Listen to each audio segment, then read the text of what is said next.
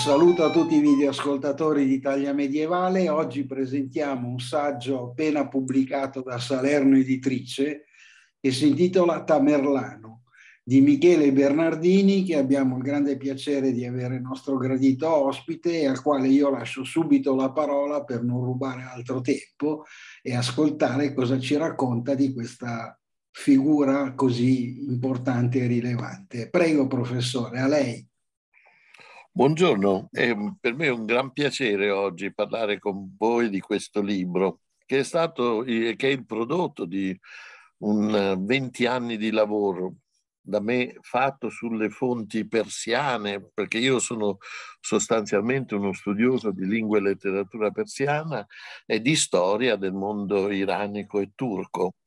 E lo, questo studio mi ha portato nel corso del tempo a eh, elaborare una figura molto difficile, a volte anche molto ingombrante, mm, non una persona gradevole, ecco, non vorrei passarci una vacanza insieme a Tamerlano neanche di un giorno forse, perché è un tiranno, un uomo eh, durissimo, mm, anche molto eh, violento, molto brutale e in fondo non un grande legislatore, non un grande eh, uomo di pensiero, ma un grande condottiero. Condottiero che è un termine che si presta bene a Tamerlano e si presta bene anche poi per, le, mm, per eh, diciamo, l'immagine che di lui si è riflessa nel corso del tempo anche in Europa dove addirittura Machiavelli rimase abbastanza colpito dalla figura, tanto che c'è stato chi lo ha accostato a Castruccio Castracani o a delle figure appunto della eh, letteratura occidentale. Molti lo hanno accostato ad Alessandro Magno. Alessandro Magno è il parallelo eh, più gettonato, se volete, ma anche ci sono stati molti sovrani occidentali che sono stati molto attratti da questa figura. Uno di questi è stato il Re Sole, che attraverso Colbert leggeva le pagine di una cronaca persiana che era stata tradotta da François Petit de la Croix e che eh, esaltava appunto le doti e le virtù di Tamerlano. Quindi mm, c'è un, un certo c'è un gusto, se volete, ambivalente questo, nello studio di questo personaggio, eh, nel quale si può trovare da una parte un successo strepitoso della figura, della sua rielaborazione, del, e dall'altra un personaggio mm, che veramente molto primitivo nel suo modo di essere.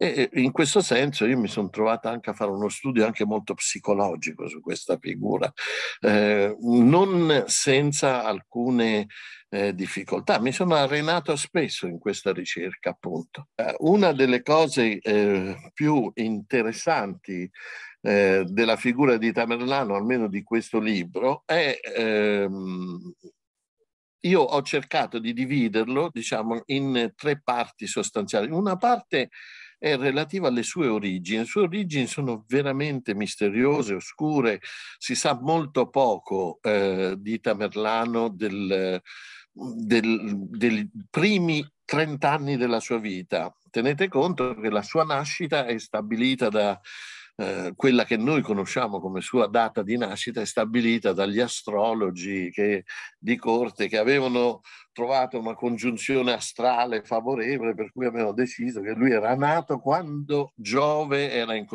in congiunzione col Sole e con Venere, secondo un modello astrologico molto molto eh, diffuso all'epoca, per cui si chiamava il Signore della congiunzione astrale. Questo è il titolo con cui lo chiamano tutte le fonti eh, persiane. In realtà probabilmente lui non è nato nel 1336, come si dice, ma vent'anni prima, dieci anni prima, quindici anni prima. Insomma, ci sono molte ipotesi su una nascita in realtà precedente. E ehm, in quei vent'anni, trent'anni che portano fino al eh, 1370, noi non sappiamo nulla di lui, non sappiamo praticamente nulla che non sia eh, appartenga al fantastico, alle, alle, leggende, alle tradizioni orali tramandate da molti narratori che poi hanno condizionato la costruzione delle fonti storiche. Le fonti storiche relative a Tamerlano sono tutte posteriori, eccetto una, ma le altre sono tutte posteriori alla sua morte. Quindi è chiaro che sono ricostruzioni, sono ehm, molte delle di testi che sono stati scritti mentre Tamerlano era in vita, eh, sono andati perduti oggi e sono traghettati invece in, in opere che sono apparse dopo il 1405, che è l'anno della data della sua morte. E quindi tutta questa prima fase, questa prima epoca è molto leggendaria. È una prima epoca in cui succedono dei fatti molto importanti in realtà. Uno di questi è Tamerlano compie delle razzie eh, nel Sistan iraniano, cioè in una regione del sud dell'Iran odierno, e viene colpito da una freccia a una gamba che lo rende zoppo. Si chiama Timur Lang, cioè Timur lo zoppo, proprio perché è stato centrato da una freccia. Questo fatto è riscontrato poi da un antropologo russo che si chiamava Gerasimov che aprì la sua tomba nel 1941 anche questo è un aspetto venato di grandissime eh, colorazioni magiche, perché quando questa tomba venne aperta e trovarono il suo scheletro, eh, in cui appunto c'era questa tacca su una gamba che segnava chiaramente una ferita da, da un, fatta da una freccia, e si disse anche che mh, mm, questo aveva causato l'operazione Barbarossa che proprio in quei giorni stava iniziando e Rus- l'Unione Sovietica veniva invasa appunto dai tedeschi. E questo tipo di cose, vedete, si mescolano molto a aspetti leggendari, fantastici. Eh, nel, tra gli uzbeki ci sono una marea di leggende eh, su Tamerlano e tenete conto che Tamerlano è un eroe nazionale in Uzbekistan, è considerato il fondatore dell'Uzbekistan, fatto del tutto anacronistico per un'infinità di ragioni che non vi sto a spiegare. Una seconda parte del libro è dedicata invece agli aspetti, al, al tratto più eh, imperiale, se volete. Questo termine non mi piace molto, io non l'ho mai usato nel libro, non ho mai parlato di impero timuride, perché in realtà non è un vero e proprio impero. Tamerlano non era capace di insediare eh, dei, po- dei, poteri delegati nelle regioni che conquistava. Erano semplicemente zone che, oggetto di grandissimi saccheggi, di razzie molto, molto eh, consistenti, ma non, non, non c'era una concezione di uno Stato come poteva essere quella dell'impero romano o come sarà poi quella dell'impero ottomano. In Tamerlano c'è un aspetto assolutamente eh, barbarico, devastante, se volete, molto simile a quella che era stata in precedenza l'invasione degli Unni o altre invasioni come quelle degli Eftaliti più tardi nel VI secolo, cioè delle popolazioni nomadi che si spingono e poi ritornano verso delle basi centroasiatiche. Nel caso di Tamerlano la base era la città di Samarcanda, oggi in Uzbekistan, in antico nella regione che si chiamava Transoxiana, cioè la regione che era l'Ultre Loxus. C'era un grande regno Moza, Mozafaride che era ehm, molto importante nella regione di, del Fars, cioè di quella che si chiama Perside nell'antichità occidentale che noi chiamiamo anche Persia, perché io ho usato il termine Persia usando il termine che si usava nell'Italia rinascimentale per definire eh, le regioni conquistate da Tamerlano. E quindi Tamerlano arriva a Shiraz, arriva a uh, Isfahan, in gran, importantissime metropoli dell'epoca, le sottomette, a differenza dei mongoli che avevano conquistato soprattutto le città del nord dell'Iran, Tamerlano conquista le città del sud dell'Iran. E ehm, come i mongoli che hanno devastato le città del nord dell'Iran, Tamerlano devasta soprattutto, massacra le popolazioni delle città del sud memorabili, famose, sono le sue torri, i suoi minareti di teste umane.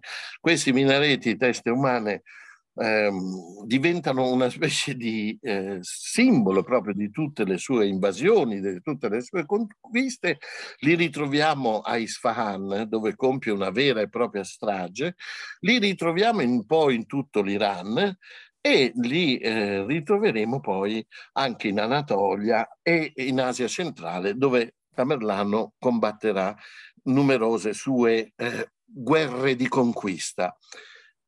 A differenza di questi territori del meridione, che sono territori sedentari, tra virgolette, cioè abitati da regni che hanno una base sulle grandi città, Tamerlano ebbe molto maggiore difficoltà a combattere con le popolazioni delle steppe eh, settentrionali.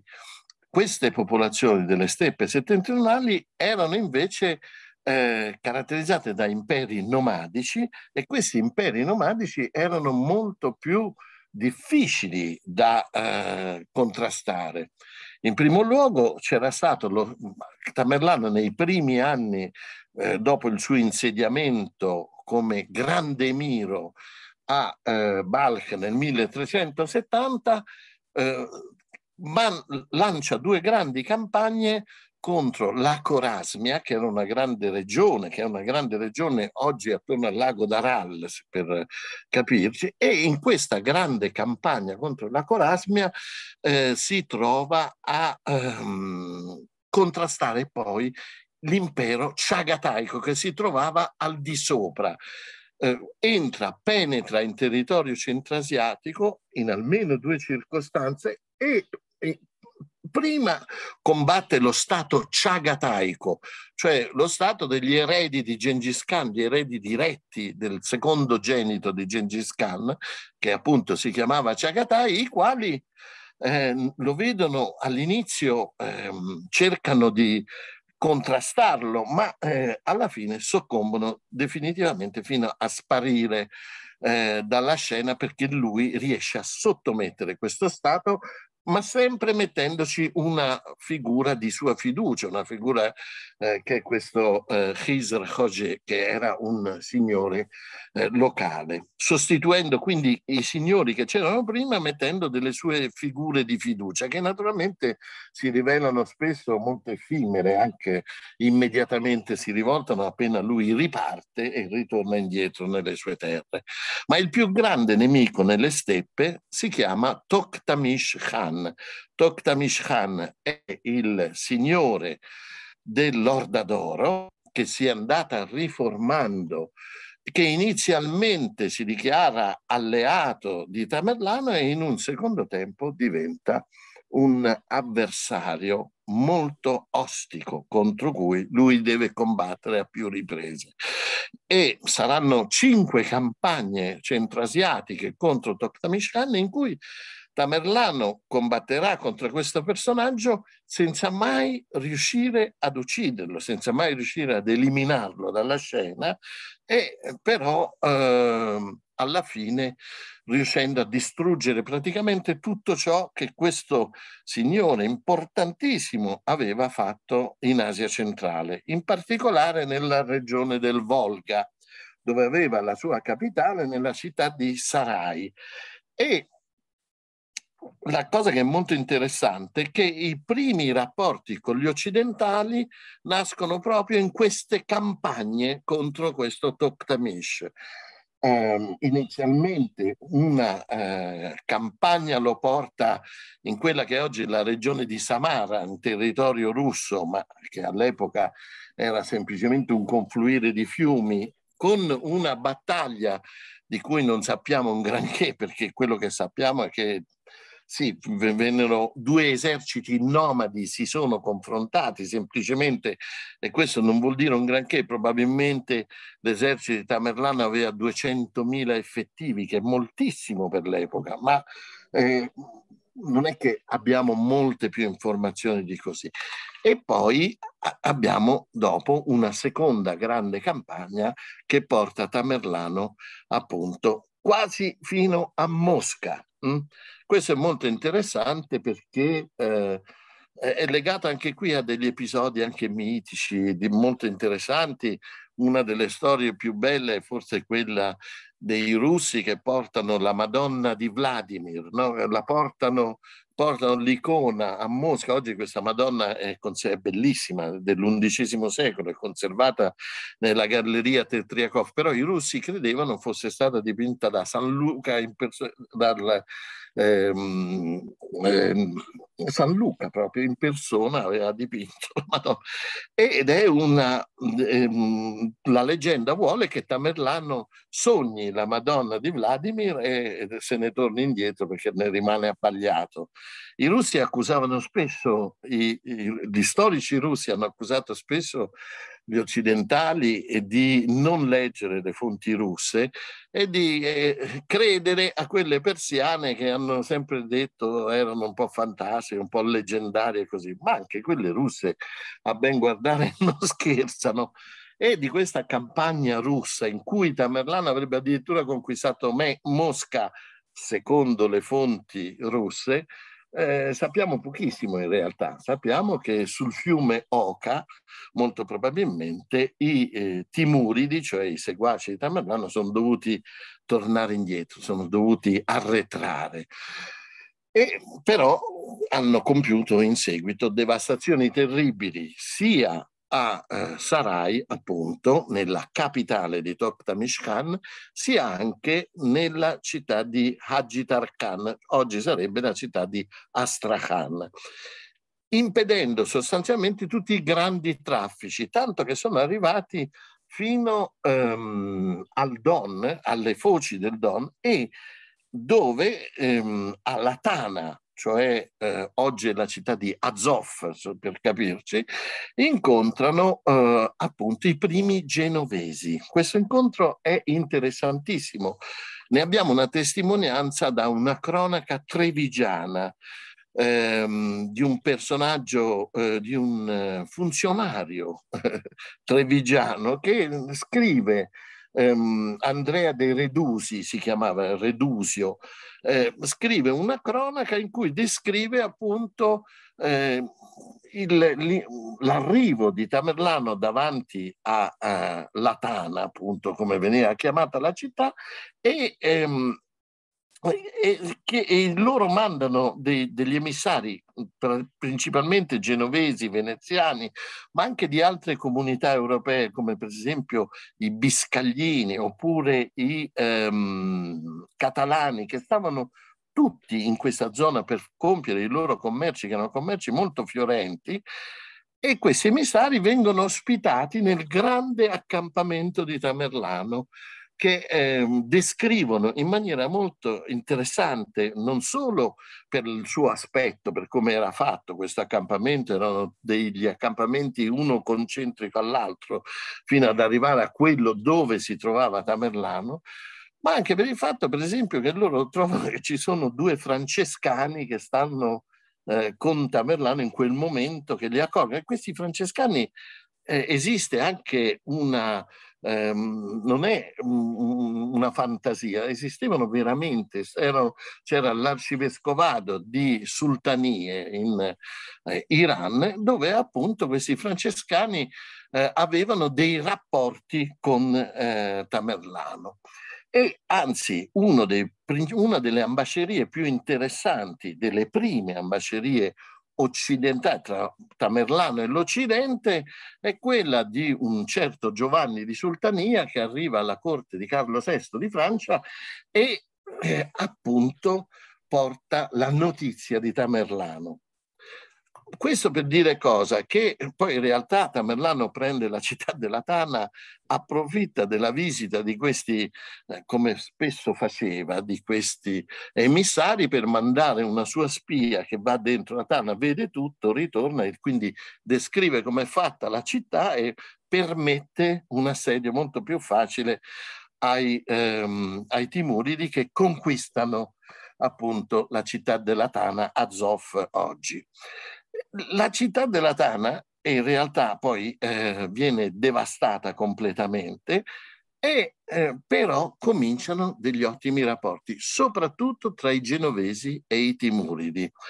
Tant'è che questa cosa degli echi anche più tardi nella letteratura italiana spagnola, anche francese, del fatto che ci fosse una presenza di un genovese alla corte di Tamerlano, che addirittura eh, faceva un po', eh, dettava un po' eh, l'operato di Tamerlano stesso. Naturalmente questa è una leggenda, questo personaggio si chiamava nelle fonti occidentali Axalla, che è un nome abbastanza assurdo, ma è interessante notare che sicuramente qualche genovese, qualche veneziano, pure qualche greco eh, girava attorno a questa corte. Va ricordato che Genova all'epoca era sotto il controllo della Francia. E in particolare sarà grazie ai genovesi e al maresciallo di Boussicot, che è uno dei quelli sciagurati che a Nicopolis avevano mandato allo sbaraglio la coalizione cristiana contro il sultano ottomano Bayezid, questo maresciallo di Boussicot comunque è, eh, diventa anche l'artefice di grandi accordi con Tamerlano. E quindi, come vedete, ci sono anche in questo libro, devo dire, io ho provato anche il piacere di descrivere delle cose che sono abbastanza inedite, abbastanza poco conosciute, malgrado di biografie su Tamerlan ce ne siano a decine, se non un centinaio almeno, insomma, di eh, libri che sono stati scritti su di lui, più o meno eroici, più o meno encomiastici, eccetera. Un altro aspetto molto interessante di questo eh, periodo, di questo periodo espansivo, è ehm, legato poi naturalmente alla grande campagna, a due grandi campagne, una contro l'India, che è una campagna eh, trionfale, a mio giudizio compiuta a scopo propagandistico, cioè per far vedere che Tamerlano era un campione del jihad, cioè della guerra di religione contro gli infedeli, che è un uh, capitolo um, terribile dal punto di vista delle distruzioni, dei massacri, delle stragi che vengono compiute. A Delhi c'è una vera e propria carneficina della popolazione, ma che è anche un capitolo molto interessante nelle cronache persiane in realtà perché permette di avere un'idea di come veniva vista antropologicamente questa, questa, mm, questa civiltà che non era poi così eh, familiare. Ma eh, nel mondo musulmano era una civiltà di, eh, che, mm, di, mm, in cui l'ibridazione tra credenze locali, tra ehm, religioni politeiste, pagane, l'induismo era visto come il fumo negli occhi, e l'Islam che era andata abbastanza bene fino a quel momento, nel senso che c'era stata una convivenza, pur essendoci state numerose campagne di islamizzazione, fin già dall'ottavo secolo, cioè fin da, dalla prima espansione islamica, e, per Tamerlano questo era un aspetto eh, insopportabile, insopportabile l'idea che questo mondo fosse così eh, regn- governato e, e Tamerlano arriva fino a Delhi e supera Delhi e arriva fino alle pendici dell'Himalaya dove compie un'impresa straordinaria che è la distruzione di un idolo bovino.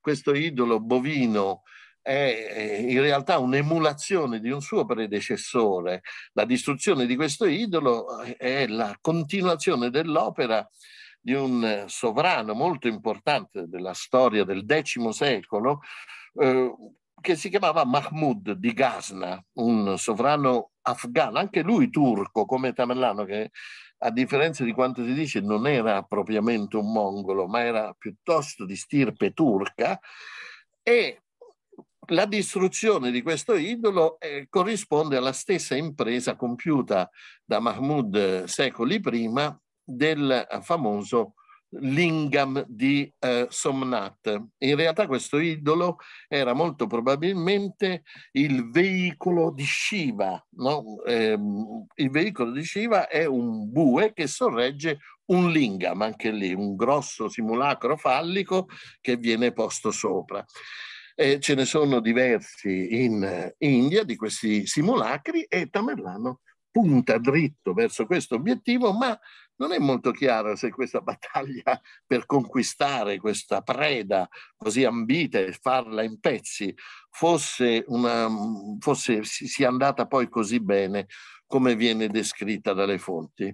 In quel momento Tamerlano, tra l'altro, accusa gravi eh, malesseri, malesseri probabilmente dovuti alla malaria, a varie malattie che lui aveva. Tra l'altro questo aspetto delle sue malattie è molto interessante perché eh, si ritrova un po' in tutte le fonti e ehm, alla fine l'esercito ritorna a Samarcanda e conclude questa grande impresa. Questa grande impresa però legittima Tamerlano a compiere l'impresa delle imprese, andare in Anatolia e combattere contro il sultano Bayazid che era all'epoca all'apogeo della sua potenza e stava portando, teneva sotto assedio la città di Costantinopoli. Prima di fare questa impresa però Tamerlano passa dalla Siria e in Siria appunto ehm, sconfigge i mamelucchi siriani, egiziani e siriani i quali, eh, guidati da un giovane sultano Faraj, che era abbastanza debole e incapace di contrastare eh, Tamerlano, eh, vengono sbaragliati prima ad Aleppo e poi a Damasco. Eh, qui è molto interessante un episodio veramente importantissimo dal punto di vista anche della storia del pensiero, che è l'incontro fra Tamerlano e Ibn Khaldun. Ibn Khaldun era un filosofo anzi uno filosofo della storia, se volete, eh, che scrive in altri momenti la grande Mukaddima, cioè la grande storia, eh, introduzione alla storia, un'opera fondamentale per tutta la storiografia islamica eh, posteriore. E Ibn Khaldun incontra Tamerlano e c'è tutta una discussione sui concetti di civiltà, sui concetti di discendenza, sul concetto di solidarietà, eh, nella quale Tamerlano partecipa. Alla fine Ibn Khaldun, che era un uomo lucidissimo, eh, esprime un giudizio che è molto interessante. Dice questo uomo eh, non è né un genio né un uomo straordinario, ma è un uomo molto abile e molto intelligente, non è stupido, ecco. E dice, bisogna mh, ragionare su quello che dice, parla di cose che sa e di cose che non sa, è bellissimo questo. E poi dice, eh, vabbè, è un capo di un'orda di barbari tremendi che sono come le cavallette, riprendendo tutto il repertorio che era stato già usato in precedenza per i mongoli, demoni, cavallette, eccetera, sono usatissimi.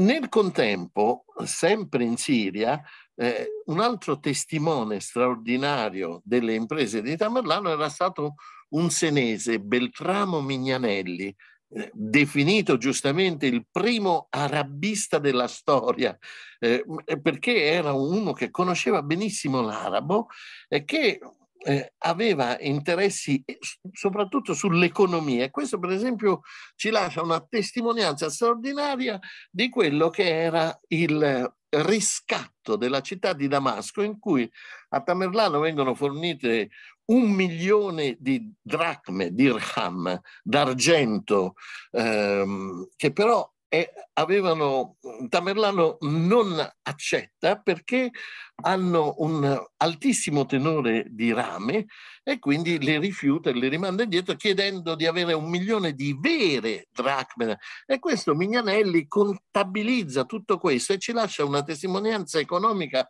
strepitosa su questo fatto.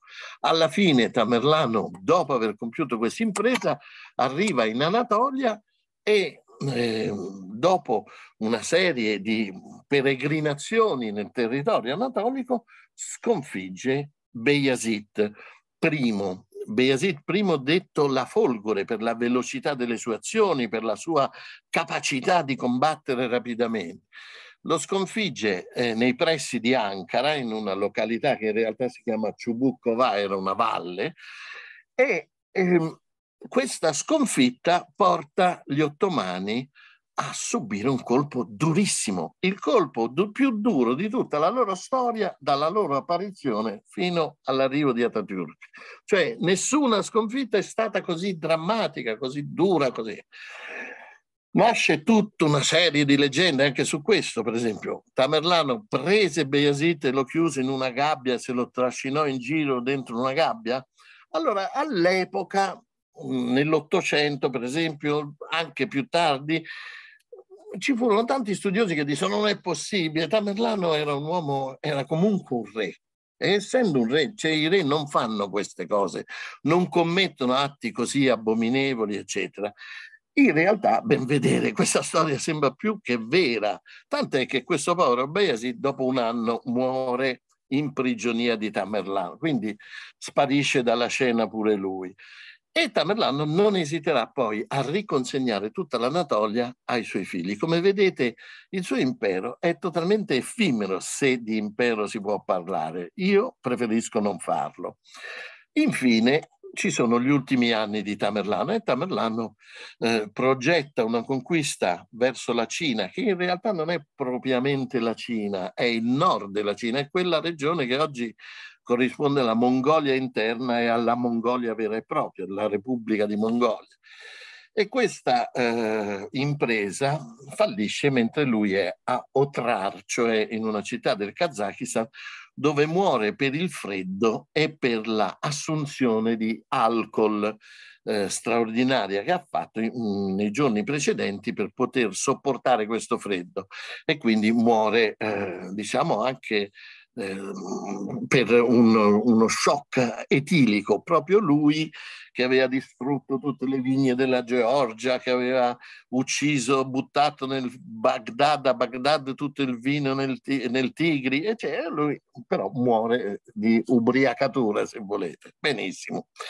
L'ultima parte però del libro a cui tengo in modo particolare è divisa in due. Una prima parte è la fortuna in Asia di Tamerlano ed è la storia eh, di, eh, di una serie di leggende straordinarie che nascono fin da subito insieme poi alla fine della sua dinastia.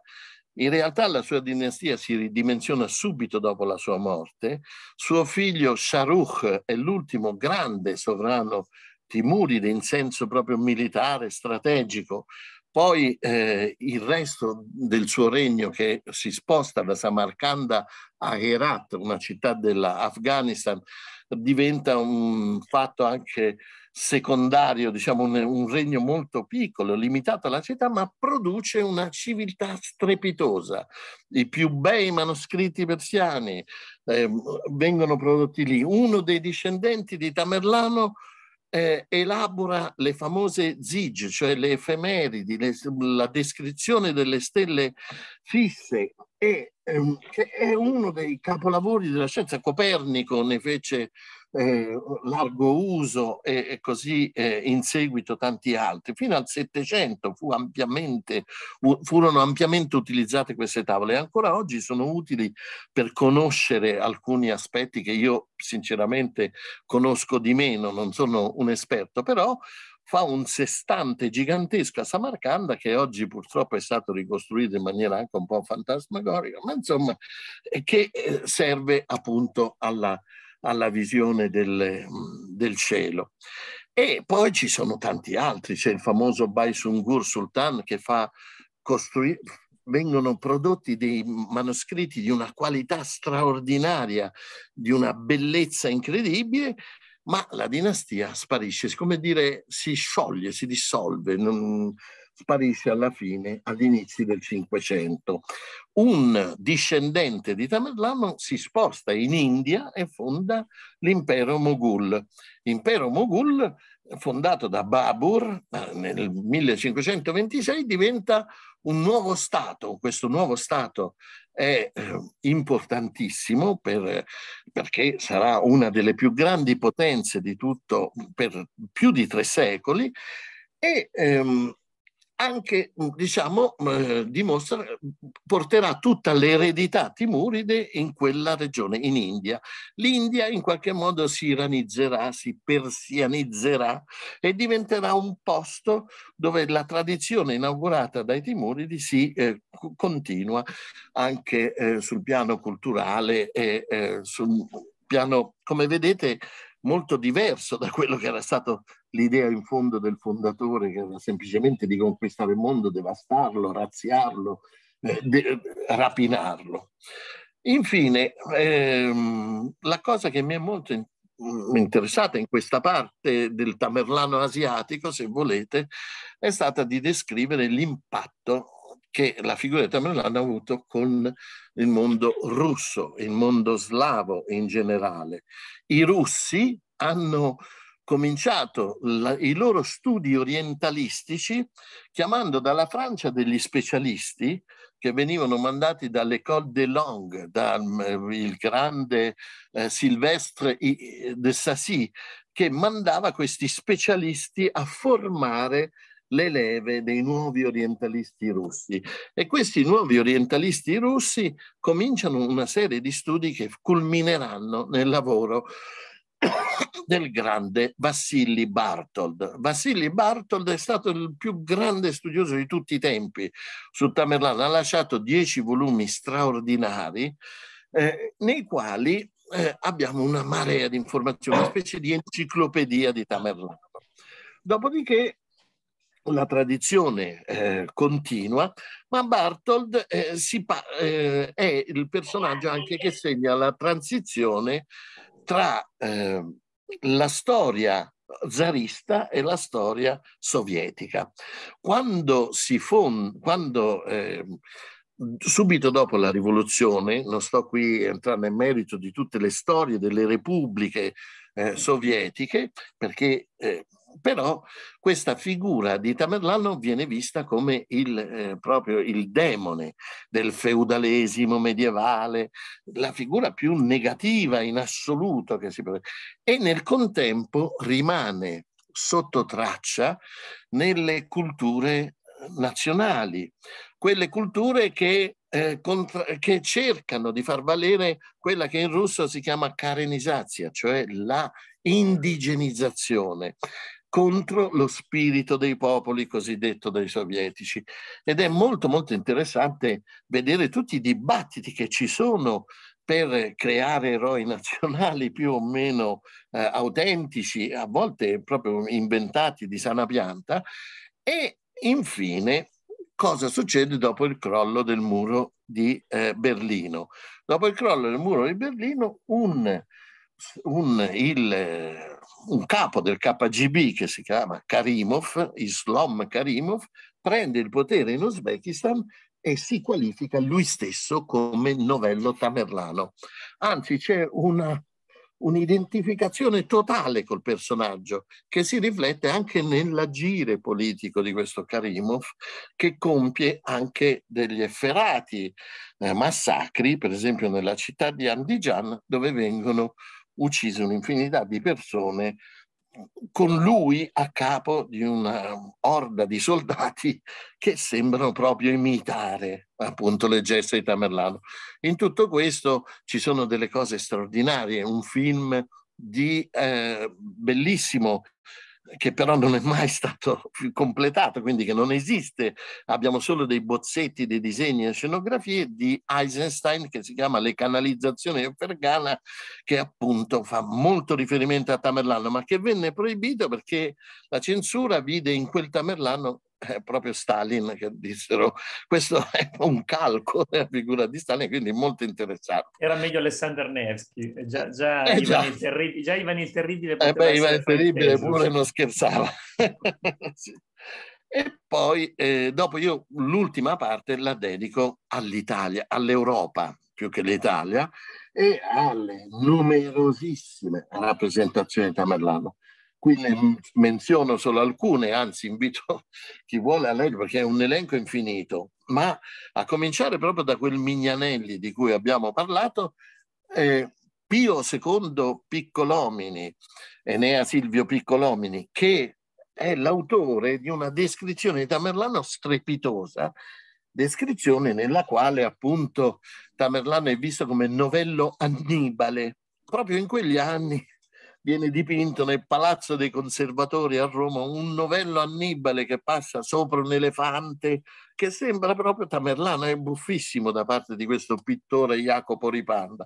Poi ho parlato di Paolo Giovio di, eh, e soprattutto molto del pensiero di Machiavelli perché c'era questo studioso Voegelin che aveva fatto un ragionamento straordinario su Tamerlano e la pleonexia, cioè la smania di possedere di più di ciò che non ti appartiene, di possedere le cose che non, che non si desidera, che associa molto al pensiero di Machiavelli appunto attraverso soprattutto la figura di Castruccio Castracani. E poi eh, mi sono dedicato al teatro perché di opere su Tamerlano ce ne sono un'infinità, da Handel, Porpora, eh, poi si arriva a Vivaldi, dei grandi pasticci, diciamocela francamente, non sono eh, opere che hanno eh, molti aspetti filologici, però che nei loro libretti arrivano a prendere moltissimi aspetti della figura di Tamerlano.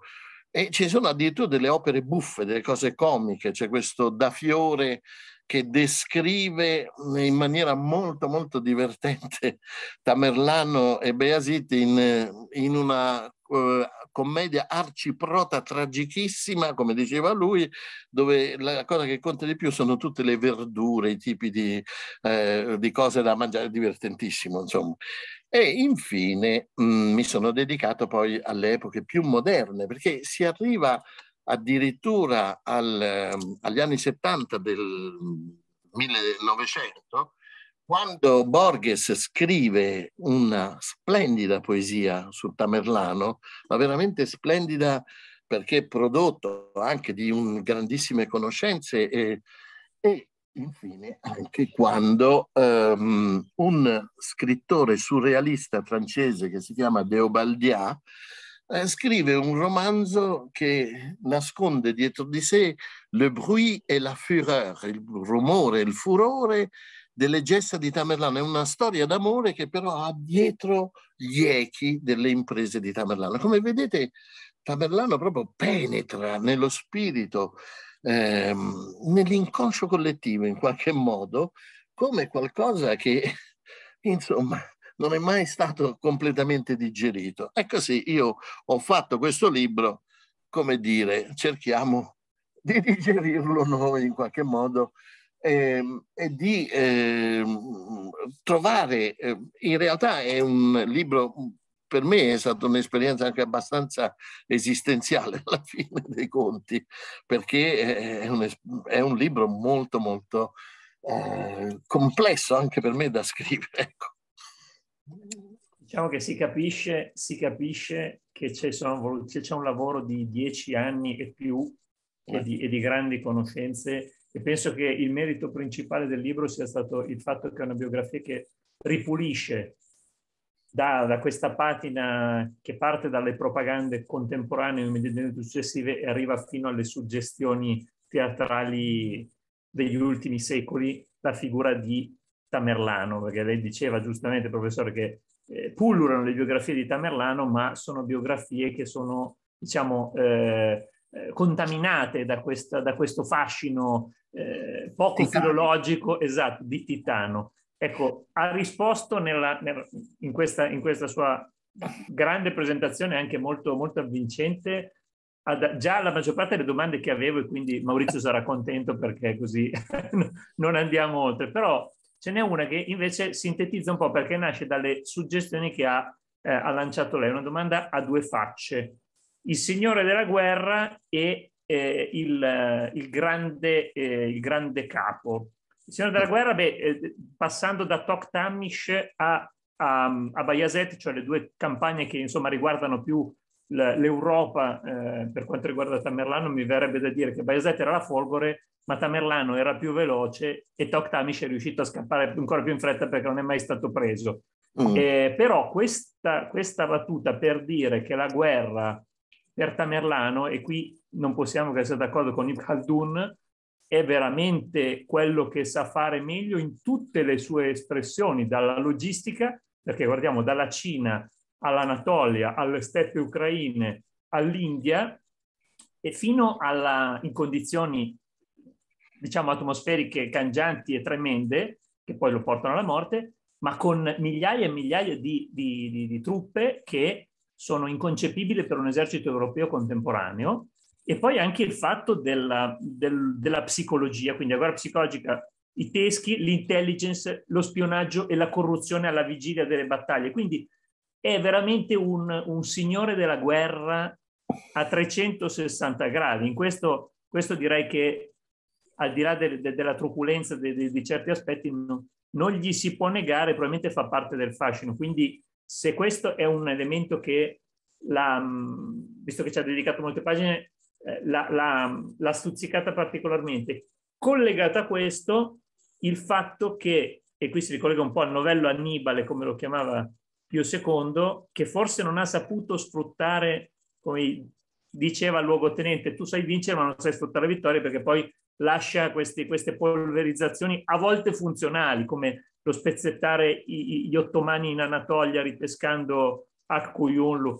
Ecco, però mm. la concezione che Timur ha di sé, dal, mm. da quando prende il potere a Samarcanda a quando sfida la Cina, all'inizio c'è questa sorta di quasi umile mh, autopresentazione come semplice Bey, capo militare, eventualmente Kurgun, cioè mm. eh, genero reale, mai almeno all'inizio Khan, e comunque anche questa sorta di, non, non so se c'è un complesso di eh, reverenza verso chi si sapeva essere di sangue principesco come lo stesso Toktamish, come il, il sovrano mameluco, quindi eh, lui non risparmia solo perché re, ma sembra quasi che sia legata a una sorta di sua ricerca di legittimazione sia in ambito islamico, con ricorso alla jihad in certi casi, come diceva lei in India, sia in ambito anche mongolico, il sangue eh, Cingis Khan.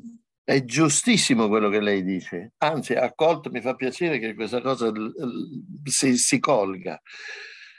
Questo fatto di risalire alle origini, allora bisogna tenere presente una cosa molto importante. Nel 1258 finisce il califfato il califfato era la principale fonte di legittimazione per tutti i musulmani.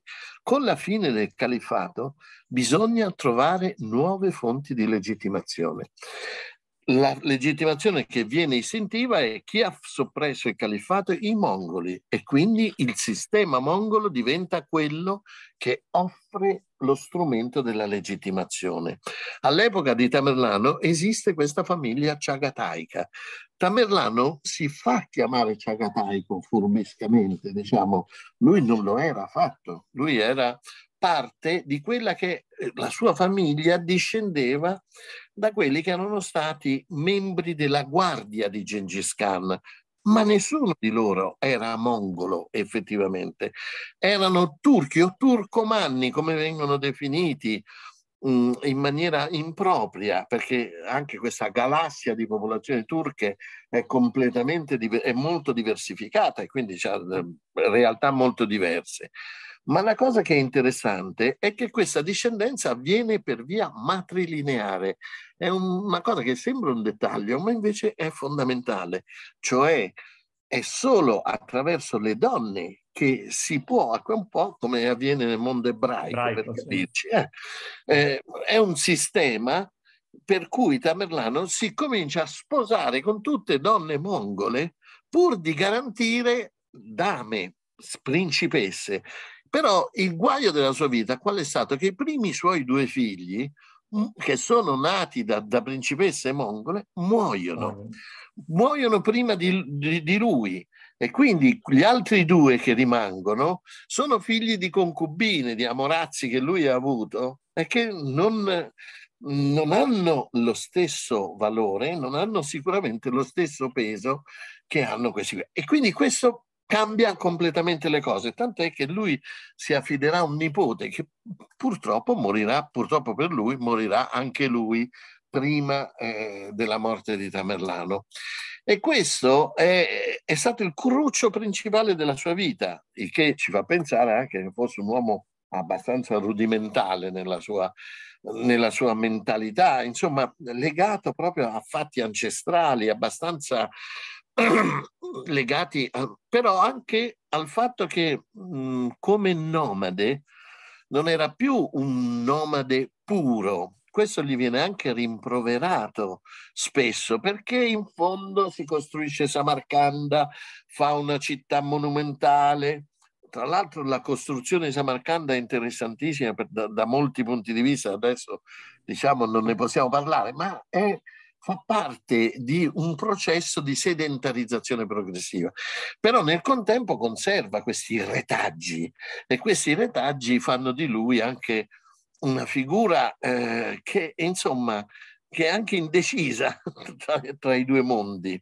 Uno studioso turco che si chiama Cemal Kafadar ha scritto un libro che si chiama Between the Two Worlds, in cui eh, proprio si vede anche come per gli ottomani purtroppo questa, le sopravvivenze nomadiche, il neosedentarismo avessero prodotto grandi difficoltà e, e problemi.